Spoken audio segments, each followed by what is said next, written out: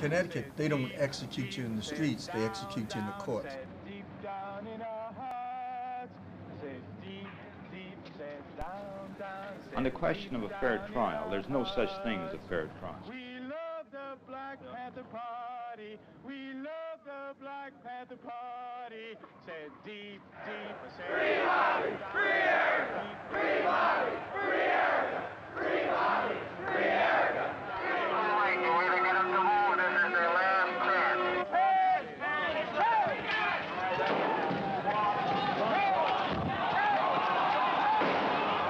talking about the kidnapping, torture, and, and killing of one Alex Rackley in this case.